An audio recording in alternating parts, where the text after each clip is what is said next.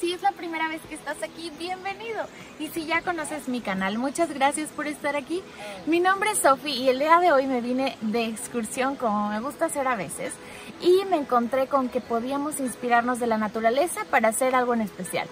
Hay un eh, como arroyo que va bajando por aquí de un lago.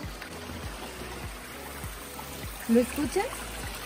En este tipo de arroyo encontré con que empecé a escuchar unos ruidos muy conocidos para ti que ahorita te voy a poner aquí, pero ahorita ya no los alcanzo a escuchar. Son los ruidos de una rana. Así que vamos a dibujar tú y yo una rana. Empecemos.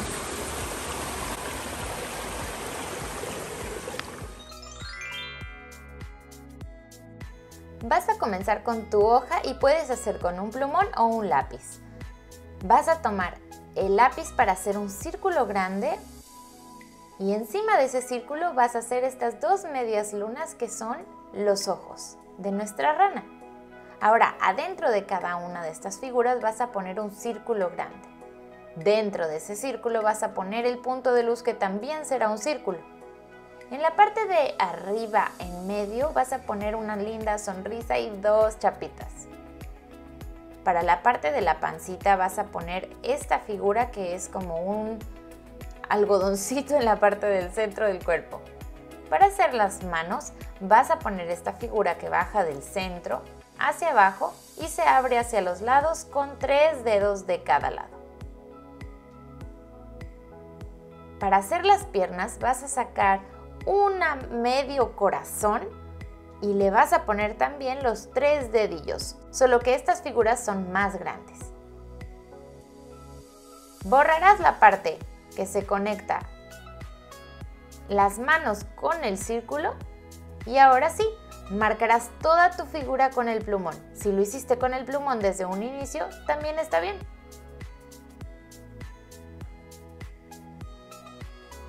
Para darle un detalle extra a los ojos vas a poner la pupila de color negro.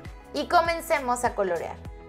Toda la figura de la rana irá de color verde. Escoge un color verde neutro, alguno que puedas poner un color más fuerte, un color verde más fuerte en algunos detalles y un color verde más claro en otros detalles. Este debe de ser un verde mediano.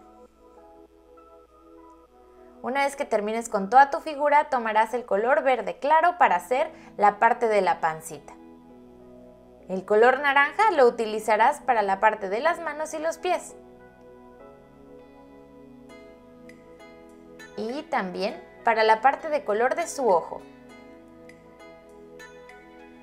En sus chapitas le pondrás un poco de rosa también como para hacerlo un poco más tierno, porque ah, todas las ranas son un poco desagradables, con esa textura así muy, muy curiosa, pero bueno, vamos a hacer una versión un poco más tierna. Y como te conté en el video, la verdad es que escuchaba yo los sonidos, pero nunca las alcancé a ver. Así que estamos imaginando cómo sería una rana en nuestro taller de dibujo.